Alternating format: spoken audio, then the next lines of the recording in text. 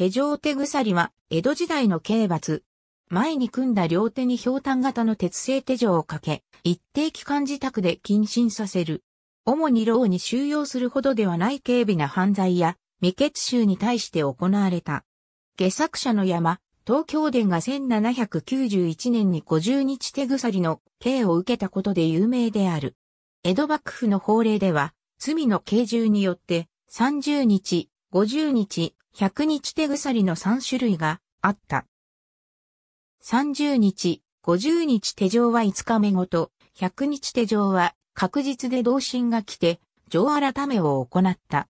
あらかじめ手鎖の中央のくびれ部分につけていた封印を確認し、無断で錠を外したことが発覚した場合には、現在の罪より一段階重い罪が課せられた。また、過料とは相互に代替が可能であり、両方陛下のケースもあった。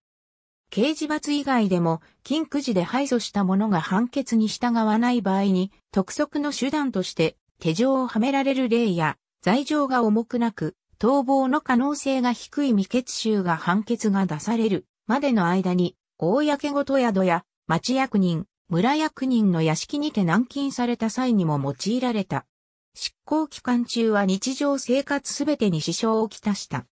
明治以後は、刑事罰としての手鎖は廃止され、もっぱら民間の懲戒用の道具として手錠が用いられた。ありがとうございます。